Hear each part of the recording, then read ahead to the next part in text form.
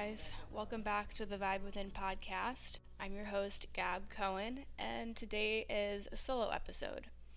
Um, as you know, I took a little break from the podcast just because life has been really fucking crazy, and I feel like I have extracted a lot of useful life information in the last few weeks. Um, first, I wanted to share just a quote that I'm sure many of you have heard. It's by Ram Dass. And this quote says If you want to be enlightened, go spend a week with your family. And indeed, that's what I did a couple weeks ago. I spent an entire week with my family up in New Jersey, not in the best circumstances, um, because we had an unexpected death in the family. My my aunt tragically and unexpectedly died. Um, it was a very out of nowhere health thing, and um, it just really showed me and opened my eyes to how precious and bittersweet life is. I mean, none of us saw this coming. She was one of the more healthier people in our family.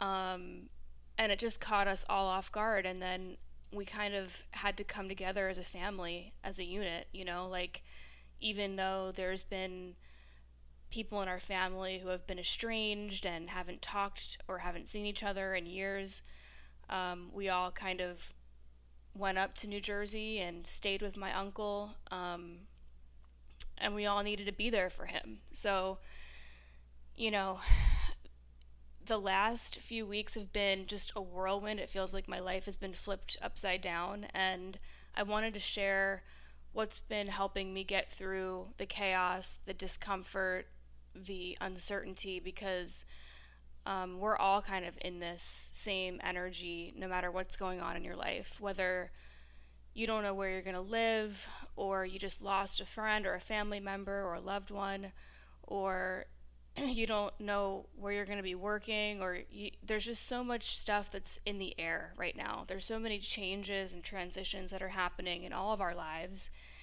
And um, so a little bit of context um, i left miami at the end of march because i couldn't find an apartment and i just I, I realized look i can't rush that process because there is a, a housing crisis in Miami, and and like every major city in the United States, there is a housing crisis. Everything is getting super expensive. Landlords and buildings are increasing rent by 500, 600, 700 dollars. I mean, the stories that I'm reading on Reddit are crazy. I follow this um, this subreddit called Poverty I don't know what, it's called, something poverty, and then there there's a couple of finance ones that I follow as well, and it's just like a bunch of people in their 20s and 30s, you know, talking about their struggles and having to live with parents or having to, you know, find an apartment and how how how hard it is, how impossible it is right now. Um, it feels like in order to find an apartment, you have to like win the lottery. Even if you have the money, um, actually finding an apartment and getting approved and um, getting in line, you, basically have to get in line, and um, it's like everybody's waiting in line to get apartments. It's just crazy right now, and there's a lot of people in their 20s and 30s who are either living at home or have to move in with family or something because you can't just pull an apartment out of your fucking ass. You can't just magically snap your fingers and say, "Well, I have the money, so, you know, I'm just going to get an apartment." Like it doesn't work like that anymore. Especially now coming out of COVID and um, everybody wants to move. Everybody's looking for a house. Everybody's looking for cars. Everybody's looking to travel. Everybody's looking to like restart their life, you know? And it just feels like everybody is so ready for this change, this growth, and it's almost like a pressure cooker, and everybody feels like they're under pressure because we quote unquote lost two and a half years um, of our lives with COVID and, you know, having to slow down or having to draw back. And I definitely feel like I lost a lot of time during COVID. You know, I, I lived at my mom's for a good part of COVID. Um, and now I'm here again because I know when my intuition is speaking to me and yelling at me, I know the difference between what's what's true and what I should be doing and my intuition and anxiety and it's sometimes it's hard to decipher the difference you know what's fear what's anxiety and what is actually the proper path to go down um, even if sometimes it doesn't feel like that's going to be the easy path um, like living at my mom's isn't easy, you know. It's it's sometimes a very triggering environment. Um, and I've done a lot of healing and a lot of work to be able to live in this environment with more ease, with more grace, um, and trying to surrender. And that that was like the first part of of COVID for me because I was living here. You know, we were very isolated. I don't really have any friends in this in this town except for maybe like one friend and she's she's got kids and she's always busy so it's you know it's just me myself and i over here um, and my cats and i try to stay busy and i try to use ritual and all these things to get through the day but there is a lot of stuff that i had to unpack in therapy um, the first round of me living here this is the third round of me living here because I took some breaks during COVID.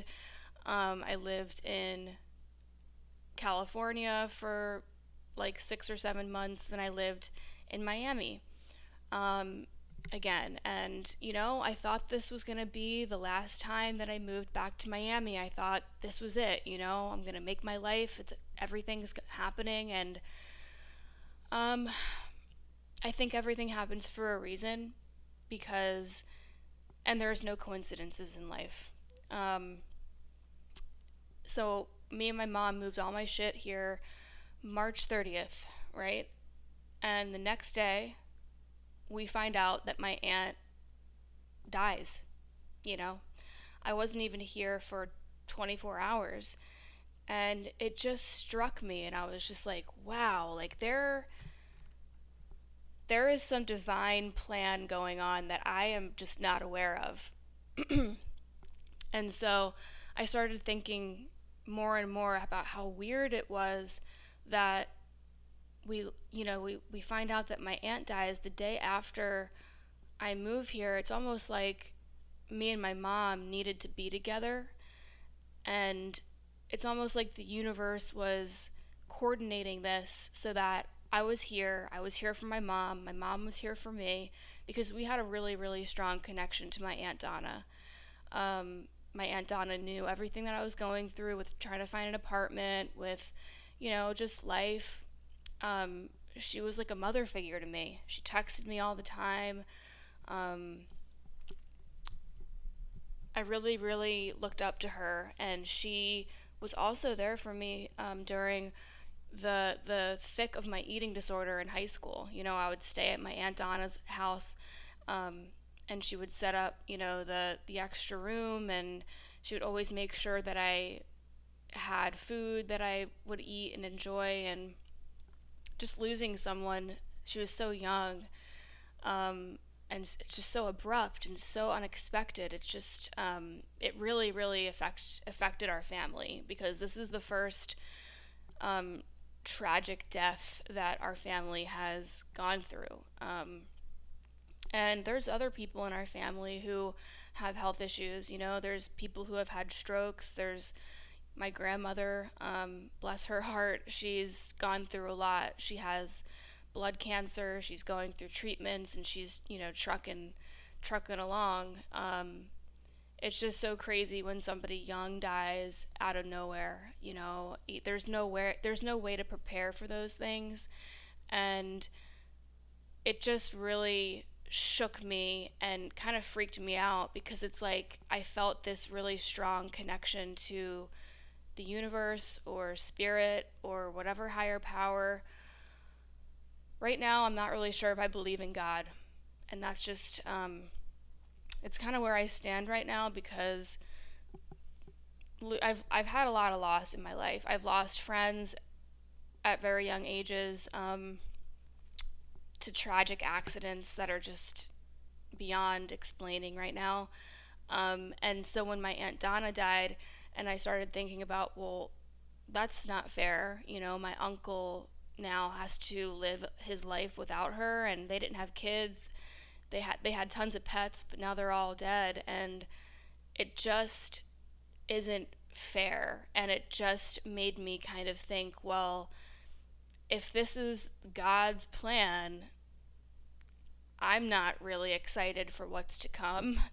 um, uh, I know that that's a very, very bleak and dark way of thinking, but I had to really just be honest with myself. And I was like, well, if this is the plan, and if this is God's plan all along, what should I be, you know, scared of in the future? I mean, I just don't see anything good happening, you know?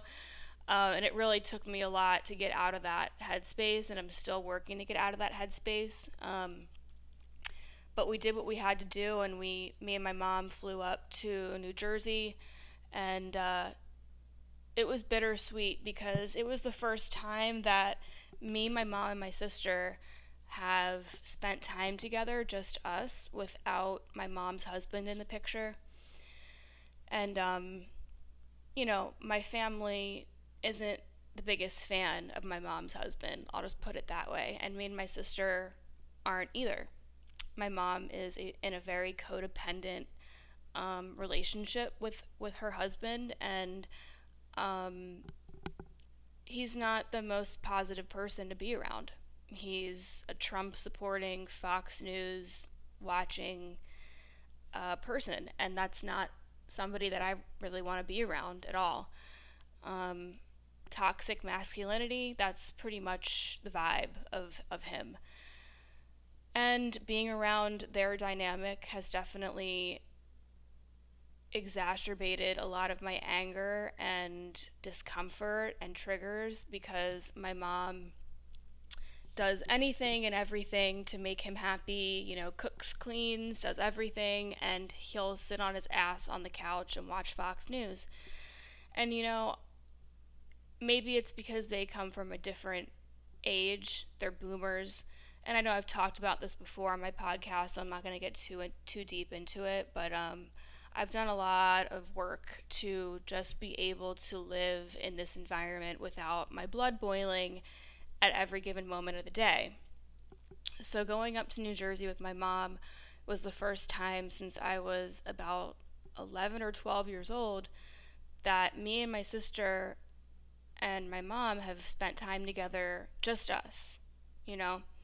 And it wasn't the best circumstances for that to be happening, but me and my sister definitely looked at it as a blessing in disguise because if it wasn't for this tragedy occurring, um, we wouldn't have been able to rekindle our mother daughter and sister relationship. I mean, it's been several years. I'm I'm I'm trying to think of the last time that me and my mom and my sister have been together um, before that, and it was probably when I was like 18 years old.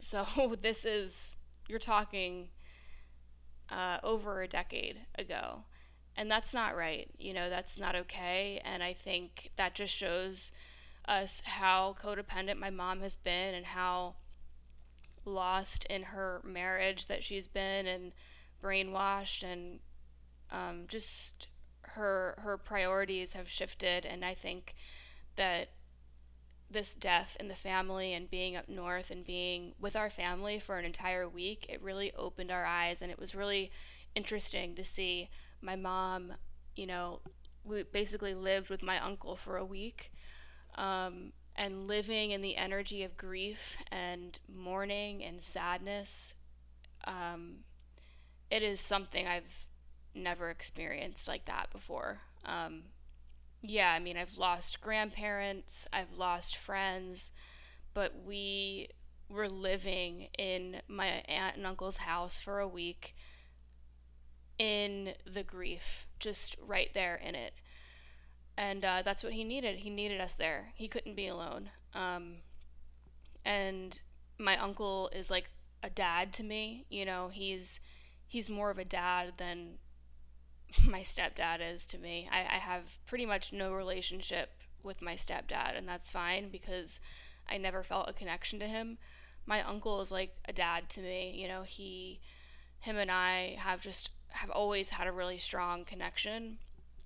So I felt like it was my duty to to serve and and protect and you know my my uncle is a retired cop too so he um he's been in that service you know he's he's served for many years and uh it was just really interesting to see our family come together and like this like the strong family we are you know we're we're fully italian family. We're 100% italian um, and we all came together all the aunts all the cousins all the nieces and nephews and um, you know seeing my mom interact with her brothers and sisters um, and her mom like my grandmother she's not doing well she's kind of sick so it was just really kind of fucking just fucked up bittersweet and i think the timing um, was interesting and you know, my Aunt Donna would have wanted us to all come together. She even used to say, like, you know, it's been years since the whole family's been together. Um, it was a very sad week, and I don't want to be a Debbie Downer here. I just want to talk about some things that might help you guys if you're going through death, if you're going through a, even just like a, a transition period. That's also death energy, you know, if you're if you are changing your your behaviors, changing the way that you act, the way that you think, the way that you that you that you treat yourself, the way that you eat, the way that you move, those are all little deaths because you're killing off the parts of you that are holding you back.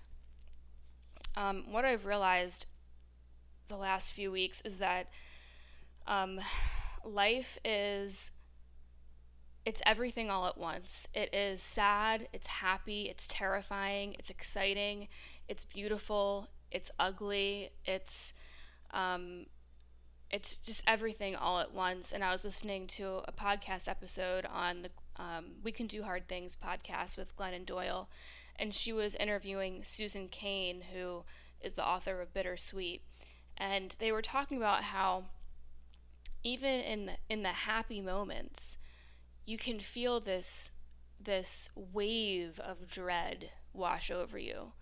And uh, that has been how I've been feeling recently. Every time I, you know, am hanging out with my mom, this this like lightning bolt of fear, of dread, of my mom dying, you know, hits me like like a brick wall and then I'm like, wow, I can't even enjoy the good moments because then my brain goes to, well, oh my God, she's going to die. You know, like this existential dread um, that I, it's starting to settle in now that I've been around grief and death um, like that. And visiting up north, also like visiting my grandmother and spending time with my grandmother, knowing that, you know, she's not going to be here forever. She's, you know, she's not going to be here for much longer, and I hate to say that. Um, but it would be awesome if she was here for for 10 more years. I mean, her sister lived until she was like in her late 90s. So, we're all hoping that my grandmom just, you know, she pulls through, she she um, gets through this cancer stuff and it's just hard. It was hard. It was so hard watching my grandmother at the funeral of my aunt because my aunt was, um, my aunt Donna was my grandmother's daughter in law.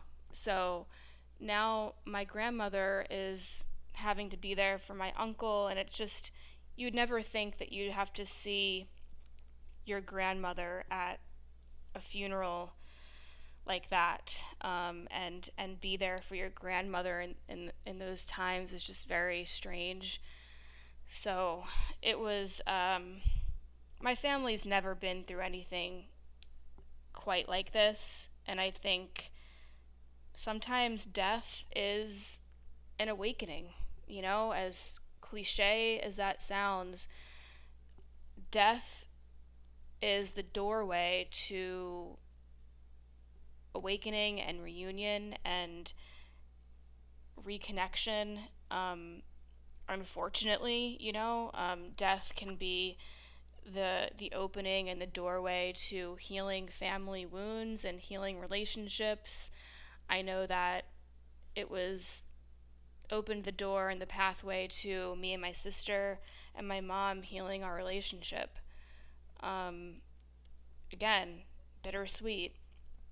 And uh, the the quote that I said in the beginning, if you want to be enlightened, go spend a week with your family. I mean, it's spot on because I was faced with triggers in all directions at every moment of the day. You know, stuff with my disordered eating and being around family as I'm navigating healing my autoimmune issues and not being able to eat certain things. And of course, family members make comments um, about stuff like that, you know. Um, and I just had to learn how to not take anything seriously or take everything that people were saying with a grain of salt.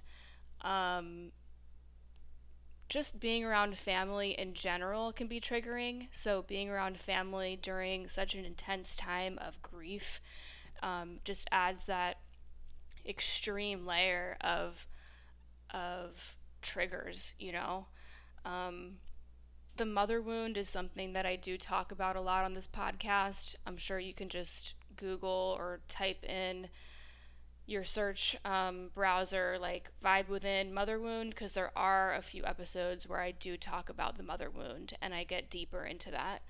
Um, but death is you know i don't know like how else to to describe it but how it can it can reunite people together. Um, in a fucked up way, you know? Um, we did what we had to do. We flew up there, we stayed with my uncle for a week, and we, it honestly felt like an emotional boot camp, you know? It felt like I was, I was in a fucking emotional boot camp training for a week. And I I noticed how important ritual was. So I do want to talk about what got me through that week with my family. Um, very, very simple daily habits and rituals kept me sane. So, making my morning matcha, you know, doing it with intention, um, listening to podcasts on the porch where my aunt, you know, used to hang out, and you know, taking moments through the day and saying, hey guys, I'm going to go out to the porch, I'm going to um, make a call, or I'm going to go to a support group. Um, and that being fine, taking an hour away or taking 15, 20 minutes away is fine to breathe, to center, to turn within, to step away from the energy that is triggering you or um, affecting your body on a, on a physical level, when you're triggered, it can raise cortisol. It can raise your blood sugar, even if you haven't eaten anything. Um, it can spike your insulin. And these are all things that you can feel um, within your body. So if if taking a break is what you need to reset your energy, definitely do it. This podcast is sponsored by BetterHelp. You guys already know how obsessed I am with therapy. I talk about it all the time on this podcast about how I have two therapists and how I go to therapy every single week. Well, I've been going to therapy for years, but once 2020 hit, the year of chaos for all of us, I really needed extra support. And BetterHelp has really been there to guide me through these chaotic times. Uh, I've been dealing with anxiety, depression, and I also have been in this recovery space for disordered eating and just a host of other issues. So, BetterHelp will assess your needs and, and match you with your own licensed professional therapist. You can start communicating in under 48 hours. So, all you have to do is you take a, a, quick online quiz, you answer some questions about what you're going through, what kind of therapist you're looking for, and you can literally write in the answers I am looking for this kind of therapist. I am looking for an expert in this field. That's what I did, and they matched me with a therapist who has tons of experience with eating disorders, trauma, and depression. And to be honest, I love my therapist so much. She's probably my favorite therapist I've ever had. And I've been through like a variety of therapists over the years. Me and her really hit it off. And even if you don't hit it off with your therapist right away, because let's be real, finding a therapist can honestly feel like you're dating. Don't worry, you can always change therapists as many times as you need. No questions asked, no charge or anything like that. So you can always change your therapist and then get matched with a new one that day. So, BetterHelp uh, is not a crisis line, it's not self help, it is literally professional counseling done securely online. And what I love about BetterHelp is that they have a journal feature. So if you're going through something challenging through the week and you don't have an appointment until, let's say, next week, you can write a journal entry. It's all online, it's secure. And if you'd like, you can share that journal entry with your therapist so that they are on the same page. They're caught up. They know exactly what you're going through. They know whatever triggers you've been dealing with over the week. And what's awesome about BetterHelp too is that your therapist will respond. So you can actually communicate with your therapist in between your your sessions. So it's not like you only get get to talk to your therapist once a week. You can check in with them frequently in between your sessions. You can catch them up to date. You can kind of communicate with them every day if you wanted to. And the online journal feature is really nice for folks who are new to journaling or just need that extra support. So, communicating with your therapist more frequently could really benefit you if you're going through a rough time. BetterHelp is more affordable than traditional offline counseling, and financial aid is available if you are struggling right now. BetterHelp wants you to start living a happier life today. You can visit betterhelp.com slash vibe. That's better, H-E-L-P dot com slash vibe and you can join over 1 million people who have taken charge of their mental health with the help of an experienced professional. You deserve the support, you deserve the healing, and you are not alone. There are so many people who are struggling with severe anxiety, depression, trauma, all of these things, and you don't need to suffer in silence anymore. So visit betterhelp.com slash vibe for a discount on your first month of online therapy. That's BetterHelp, H-E-L-P dot com slash vibe. And that discount code will get you 10% off of your first month of online counseling at betterhelp.com slash vibe. So yeah, rituals definitely helped. I also listened to um, Duncan Trussell Family Hour podcast with um, oh, what's his name?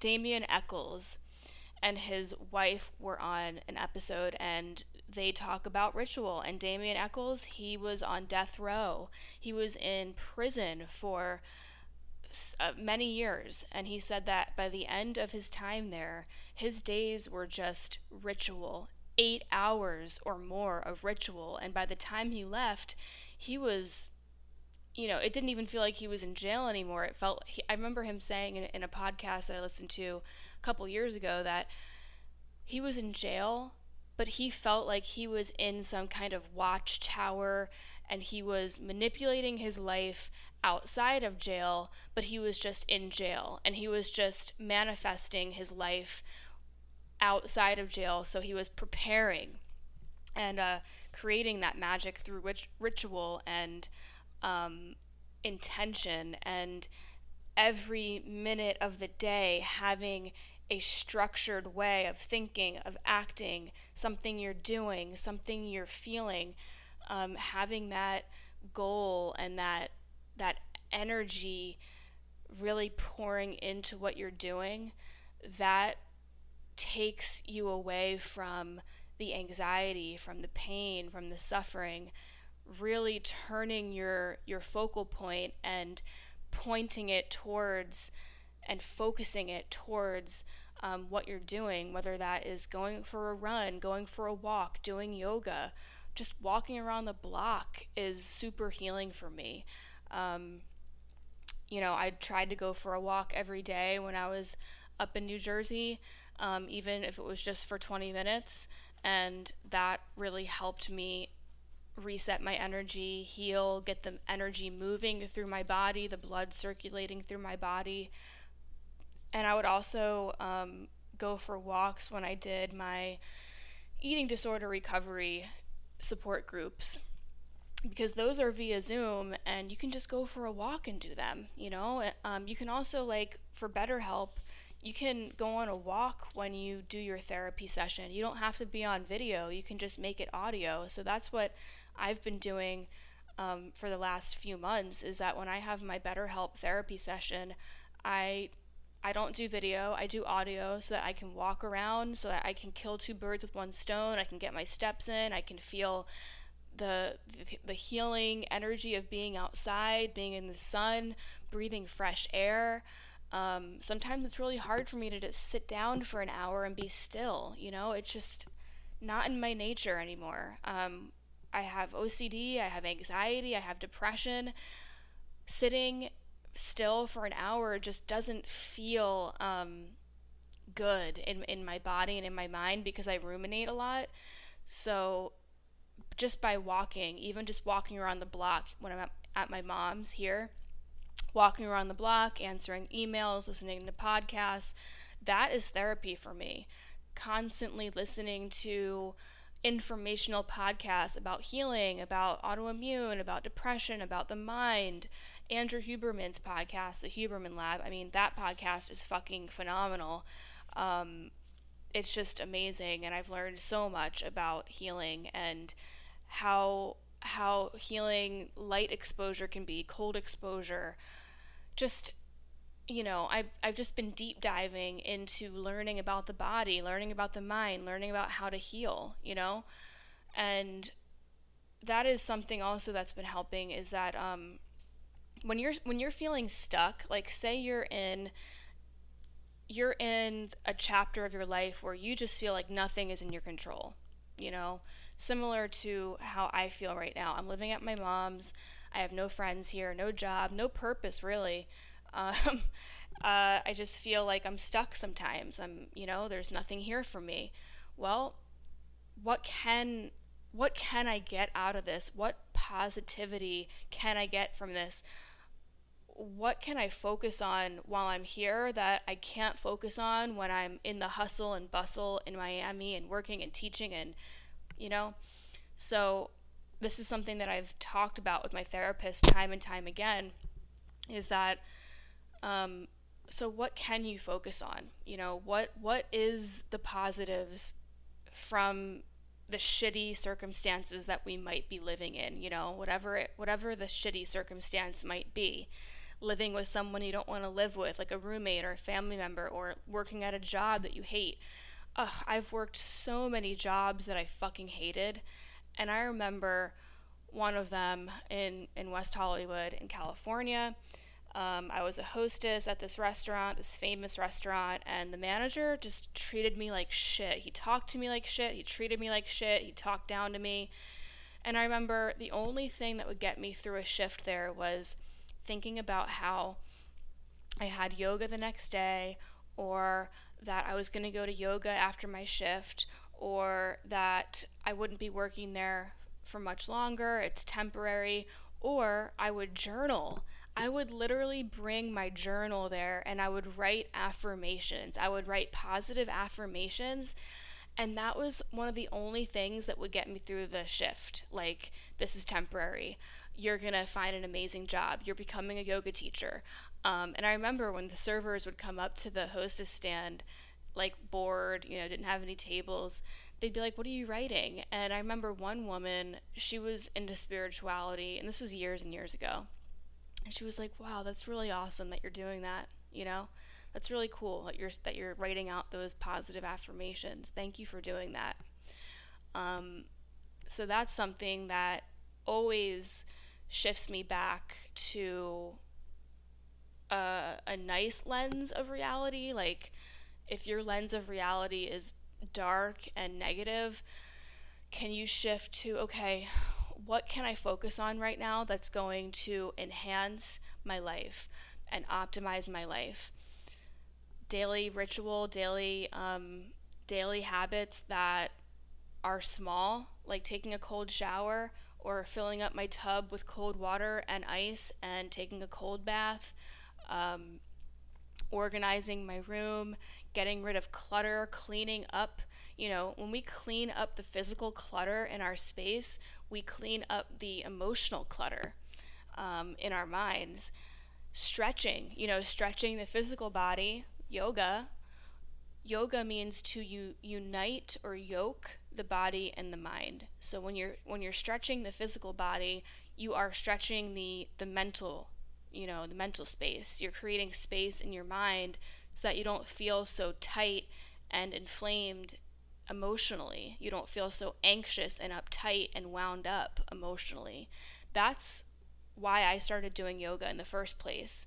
Um, I was in a really dark, you know, time in my life and living in LA, poor, couldn't afford food, could barely afford gas, was living out of my car. I mean, it was a dark time in my life, and the only thing that kept me sane and looking forward to anything was going to hot yoga and feeling good because I knew that after doing that class, I would feel so good mentally and physically. And I just kept doing it and I kept doing it. And then when I actually, you know, when I lost my one of my best friends, Lance, um, in in college, um, that is what made me leave the fashion industry and made me realize that I want to be a yoga teacher because yoga was the only thing that made me feel connected to this sense of soul, safety, something higher, and I was not getting that in the fashion industry. So, death has been a huge wake up call for me in every time it's happened. You know, every time somebody leaves this earth that's been close to me, um, it's shaken up my world to the point where I really do change my mind my behaviors, my outlook on life. So, you know, I would never I never I, I wish my Aunt Donna was was not, you know, um, gone. I, I, I wish she was still here.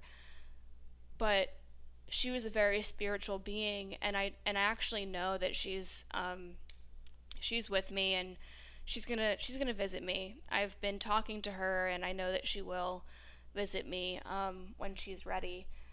She actually did um, visit me the night before her memorial um, when we were in New Jersey, and this is you know this is crazy because I'm not fully clairaudient yet. I mean, I can I can hear some things, but usually it's it's an internal mental thing that I that I feel in my in my headspace. Um, but the night before her funeral, me and my mom were sleeping in the in the guest room, and I could not sleep. I kept tossing and turning, and I heard a whisper say, "Go to sleep." And I turned over to my mom, and I was like, "What? What'd you just say?" And I woke her up, and she said, "Nothing. I didn't say anything. I, I'm I'm asleep." And I swear to you, it was a voice.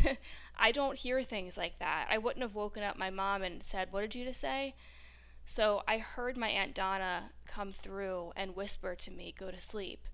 And um, that was the first time that I've ever been clear, fully, fully clairaudient, um, and heard a spirit talk to me. So I know that I'm open for it. I know that I'm I'm receptible to it. I just have to keep clearing my my energy because if I have toxic energy that's weighing me down, especially living at my mom's and being triggered, um, it's going to be hard to be open to receive those kinds of messages. So I I've been saging a lot. I've been that's that's another ritual that helps sage, um, being outside, deep breathing, legs up the wall. Um, when your legs are above your heart, it really helps with anxiety, with with taking deeper breaths. Um, taking deep breaths in and holding for 10 or 15 seconds and then open mouth exhaling. I do have um, a variety of breathwork tutorials on my Instagram. Um, they're in my reels, so they're short little breathwork snippets that will help you um, with your breathwork, um, and that helps with anxiety and and stress and rumination. And another thing that helps me is journaling. I journal every single day. I just lay down on the floor, I stretch. Sometimes I'll I'll lay with my legs spread and in a straddle position, and then I'll put a pillow underneath my torso, and I just have my journal there, and I am journaling and I'm stretching, and it feels good. Um, and journaling doesn't have to look pretty. It can be it could be scratching the paper with your pen. It could be, you know, writing all the things you're angry about. It can be writing all the things that you need to focus on or a gratitude list. Um, I do have my modern meditations journaling and meditation course that's on my Etsy, and that's always linked in the show notes. Um, it just it has tons of binaural beats and guided meditations that I recorded, and shadow work journaling prompts to help you heal. Um, and the the guided meditations they have breath work and visualization, visualization and um, guided you know meditation so if you're the kind of person that needs some structure needs some guidance through your meditation practice um, that's definitely a option um, another thing that i've been noticing that helps especially the week that we were up in new, new jersey with my uncle is the the powers of mundane like doing the dishes and doing little house chores can be the glue of your of your mind. I mean, it I feel like it was keeping my uncle sane because I mean, he's he lost his soulmate, you know? Um it's just so fucked up and the only thing that's been helping him is texting. Um, I've been texting him every day, and we just talk about the mundane parts of life the weather, what'd you have for lunch, what are you to have for dinner, oh, what'd you do today, what errands did you run. Um, it's kind of funny because everybody says, oh, I don't want to talk about the weather, I don't want to talk about um, dumb shit. Well, guess what? When somebody's going through grief, that's the only thing that sometimes you can talk about. Or you can talk about what shows you're watching, or what movies you're watching, or, you know, what you have to do in the house, or, you know, just checking in with my uncle every single day. And I'm going to continue doing that every single day of my life. I, I, don't see a day where I'm not going to do that. Um, just checking in. What are you doing? If you have anybody in your life who has lost someone recently, all you can really do is say, "Hey, how can I support you? Like what what do you need? You know, what do you let me know what what I can do for you and um what do you want to talk about or you know, like not everybody wants to talk about the death of their loved one all the time. Um, not everybody wants to hear what you got to say about it. Um, sometimes they just want some normalcy, and normalcy comes from the mundane parts of life, you know, doing laundry, cooking, cleaning, mowing the lawn, taking the dog out for a walk, talking about the weather, talking about what you had to eat that day. It's things like this that bring us um, a sense of normalcy to our lives when things are so out of control and so scary and so chaotic. So that's what's um, been helping me get through the grief and be there for my uncle through the grief because he's the one who's suffering the most. Um, I know that the entire family is crushed that we lost um, such an amazing person, but he's the one who's suffering the most, and we've all just had to be there for him, calling him, texting him, and just shooting the shit, talking about the magical mundane stuff, you know? And I call it magical mundane because the mundane truly is a form of magic if you let it if you let it um, be you know um, the most mundane thing that i've been doing is just going for a walk around the block and saying hello to people you know? Um, making my my smoothies or my elixirs or my my teas and stuff like that. Like that's not that magical of, of a thing but to me it's it's a ritual. It's healing my body you know listening to podcasts that are going to nourish my brain and help me learn about my body and help me learn about my mind. Knowledge is power. So when when you know more about your body and your mind, you you feel like you have more control over things. You know, even if you don't, even if your life is totally out of control, at least you you can control what you put in your body. To all my sober curious people, are you tired of being hungover? Are you tired of waking up feeling like shit after a night of drinking? Sometimes drinking doesn't lead to fun and it can lead to just waking up feeling horrible the next morning. I can't tell you how many mornings I woke up, especially in art school, feeling absolutely terrible. And, you know, as I've been in my sober curious journey the last few years, um, my life has been changed dramatically. And that's why I'm super excited to be partnering up with Curious Elixirs. Curious Elixirs are booze free craft cocktails infused with adaptogens to help you unwind. Whether you're sober or just sober curious, toasting your team, or sipping solo, Curious Elixirs is on the mission to create the world's most sophisticated cocktails without the alcohol. So these are amazing. They, they're in glass bottles. They have they're infused with these herbs and botanicals and adaptogens and so and they're and they're fizzy and they're bubbly. So right now I'm sipping on the number 4 what's in this one. This is this has holy basil to help you unwind, American ginseng to give you a boost. Um, it also has orange. It's so good.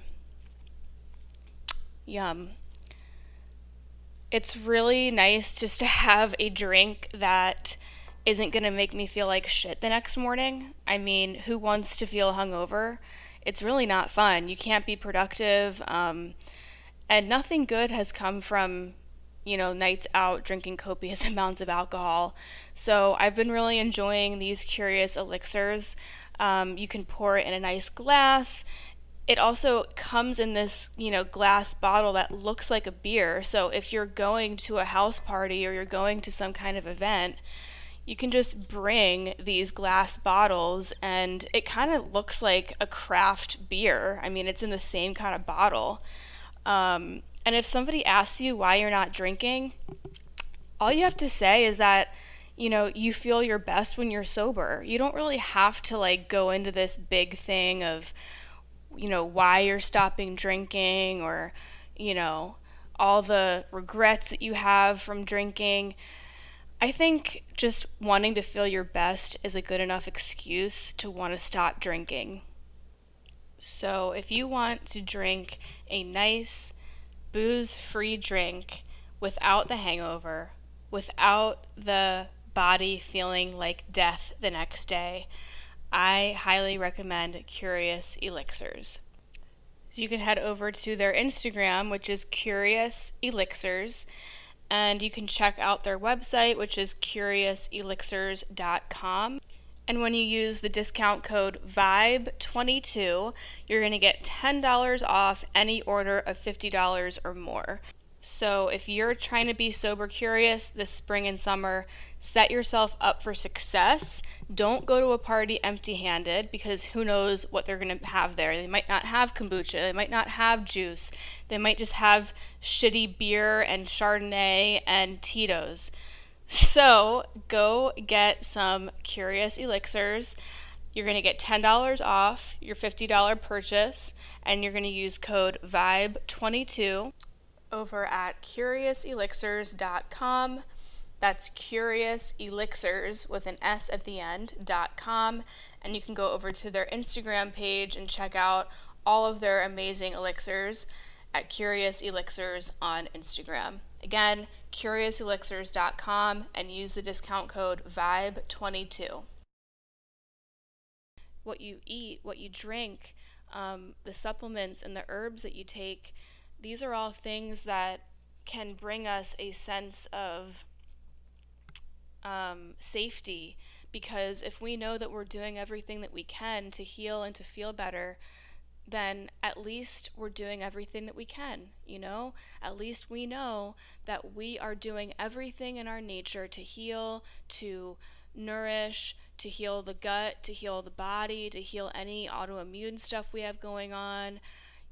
You know, if we're proactive and we're going to therapy and we're going to support groups and we're we're eating the proper foods that work with our body and we're staying away from drugs or alcohol if that's what you need to do um, we're doing everything that we can. So, focusing on, like I said, when you're in an environment that feels out of your control or you're in um, a life situation that you wish you weren't in, focusing on what you can, you know, what you can control and what you can, um, like, again, being here at my mom's is it's an opening for me too because I have lots of time on my hands. I have I have, you know, I don't have a job here other than the podcast, other than marketing. So I'm not going anywhere to work. Um, it gives me extra time to focus on my health. It gives me extra time to call family members. It's giving me extra time to um, heal the relationship with my mom and spend time with my mom because let's face it, our parents aren't going to be here forever either. And if I lost my mom tomorrow, I'd have a lot of regrets. And I, I don't like to think about that, but losing my aunt has made me realize, you know, how do you want the relationships in your life to feel? Um, patch up any anything that needs healing, anything that um, you know, needs to be said.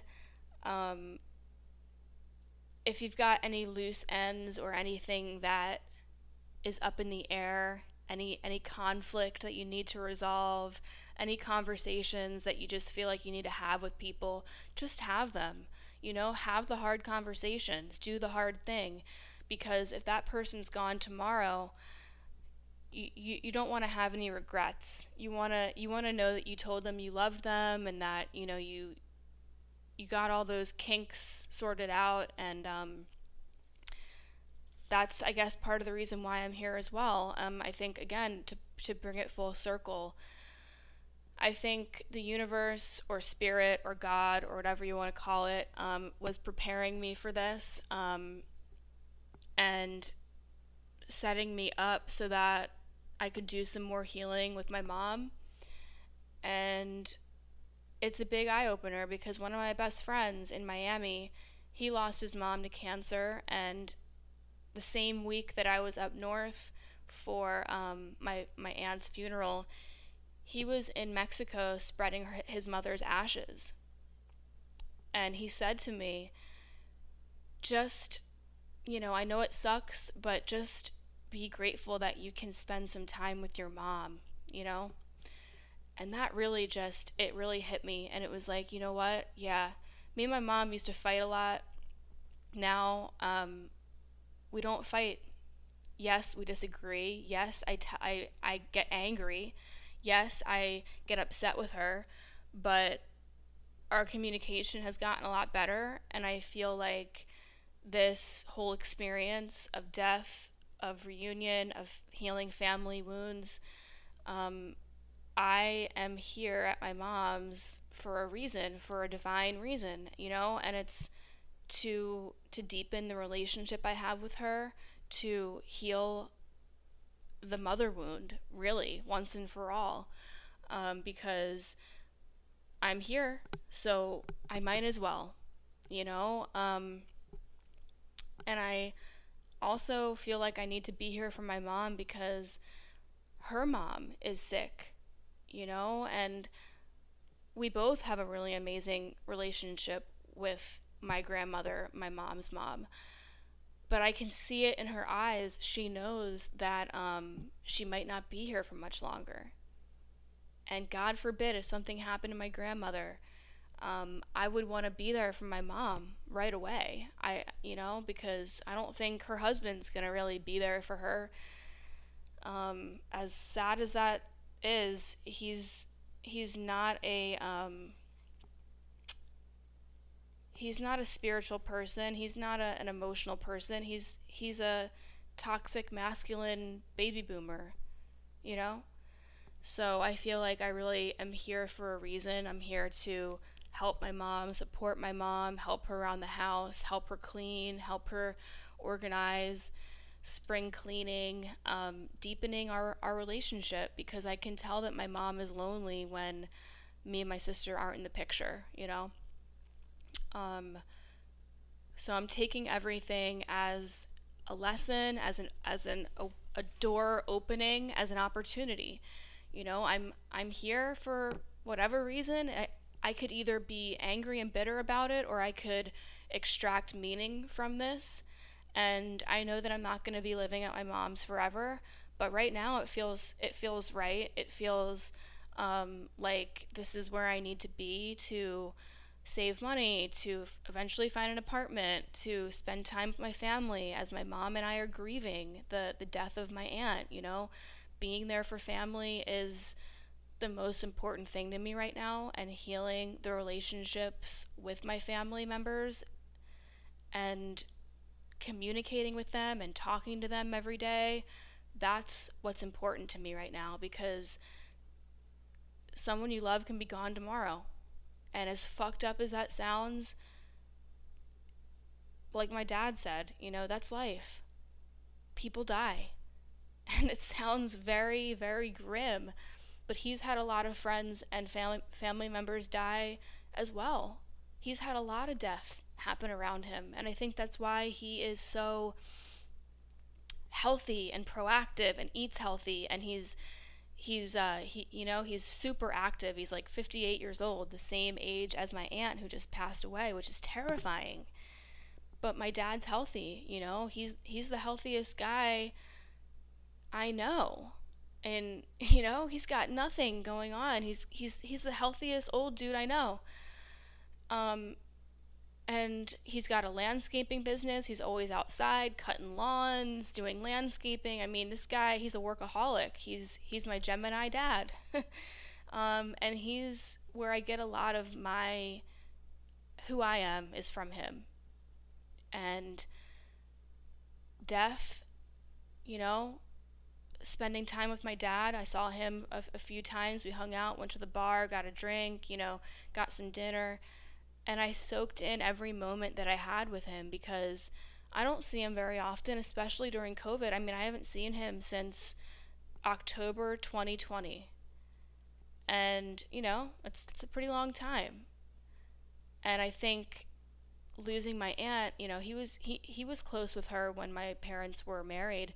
Um, he said, you know what? Yeah, like once I get some time off, well, I'll come visit you. And I think it made him realize how important it is to spend time with family.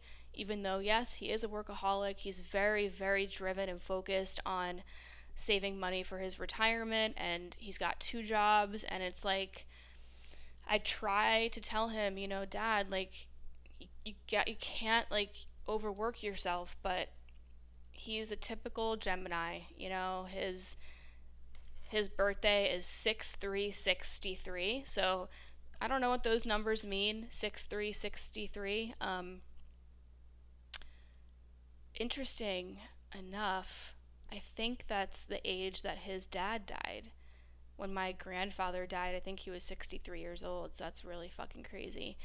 Um, I just I just hope this episode has helped somebody anybody out there who's dealing with death, with family, with triggers, with life transitions that feel like they're out of your control. Um, being an empath in these kind of situations can be very, very heavy.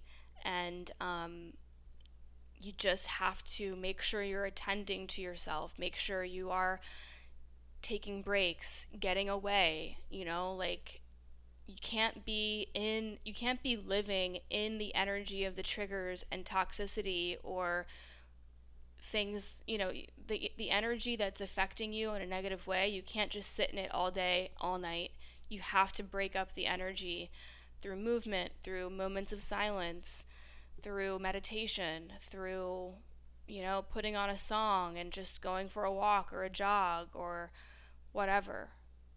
So, I'm sure that when I end this episode, there'll be a million things that I feel like I didn't touch on, but for now, I guess that's fine.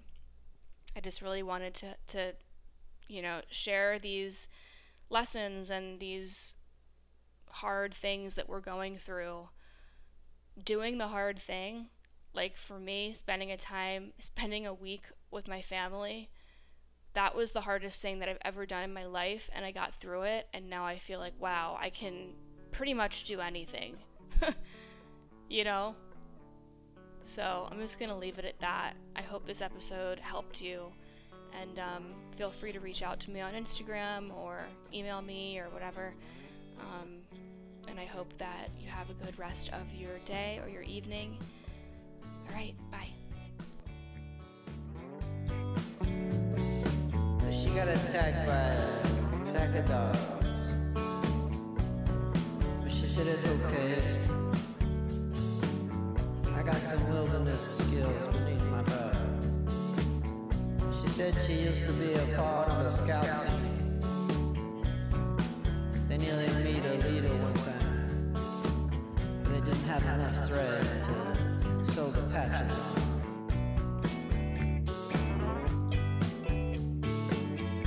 She said, You know how you heard